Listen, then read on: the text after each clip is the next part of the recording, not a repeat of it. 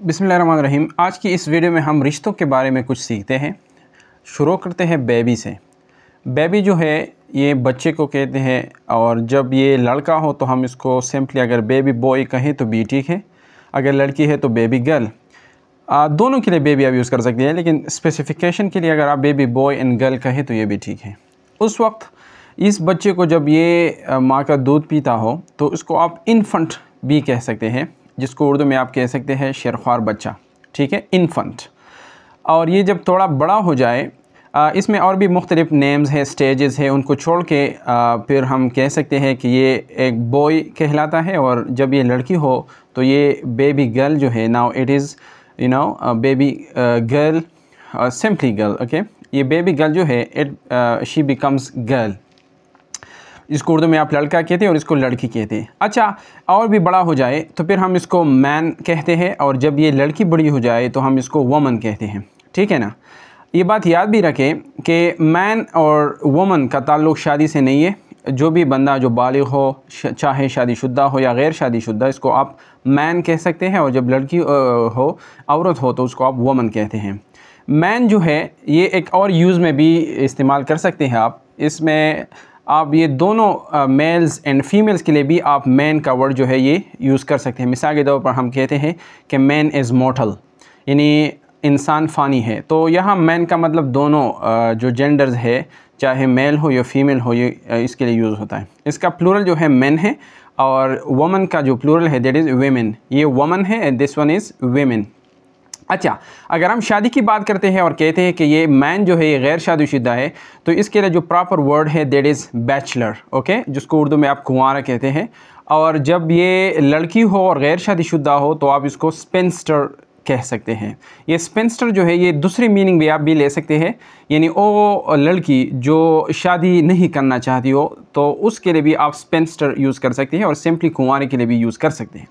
अच्छा जब उनकी निकाह हो जाए, यानी नक्शल नॉट, निकाह के लिए हमने वर्ड जो लिखा है, नक्शल नॉट तो फिर जब इनका निकाह हो जाए तो हम इसको इंगेजमेंट कहते हैं, यानी मंगनी जब हो जाती है उनकी, मंगनी को इंग्लिश में कहते हैं इंगेजमेंट और इसके लिए एक और भी वर्ड यूज़ होता है देर इज़ बिट्रोदल ठीक है?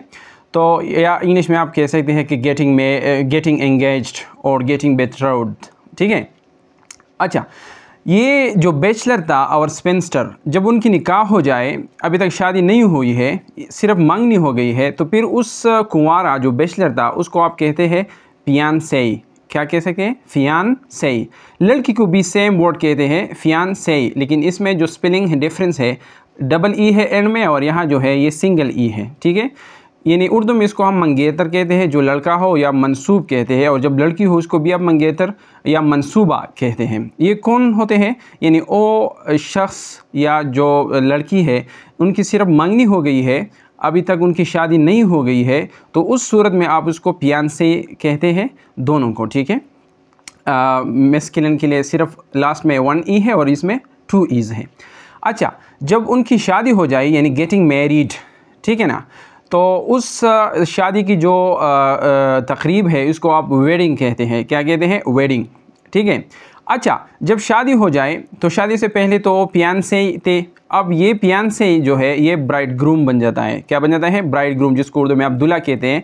और ये जो लड़की थी, जो थी मनसूबा, इसको आप ब्राइड कहते हैं, जिसको उर्दू में आप दुल्हन कहते हैं, ठीक है? ये शादी के बाद उनके जो नेम्स हैं, वो चेंज होते हैं, तब्दील होते हैं। बिफोर मैरिज और you can say after engagement they are fiancee और fiancé, but after the marriage, they become bridegroom and bride तो ये मुख्तलिफ़ नाम्स चेंज होते हैं याद रखना आपने।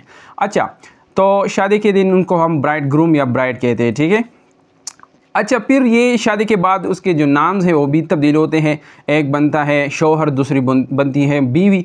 तो शोहर के लिए इंग्लिश में वर्ड जो है हस्बैंड है। क्या है? हस्बैंड और नेक्स्ट वर्ड भी यूज़ होता है दैट इज़ हाबी हबी एंड हस्बैंड ये दोनों शोहर के लिए इस्तेमाल होते हैं ठीक है?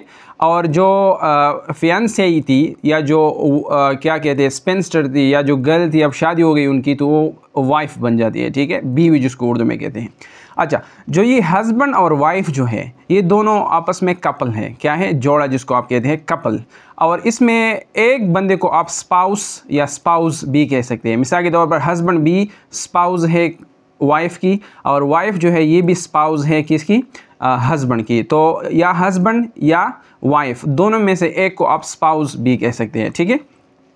जब उनकी शादी हो जाती है, जो पहला महीना आमतौर होता है तो इस पहले महीने में वो कहीं छुट्टियाँ लेते हैं और कहीं सैर करने जाते हैं, ट्रिप पर जाते हैं तो उसको हम कहते हैं हनीमून क्या कहते हैं? Honey for example they are on honeymoon for example और they for example are honeymooning in Paris तो ये एज अ वर्ड भी यूज़ कर सकते हैं और एज अ नाउन भी यूज़ कर सकते हैं।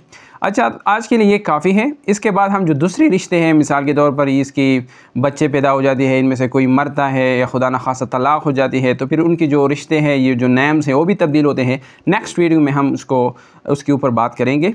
अब तक के लिए काफ़ी है। Thank you for watching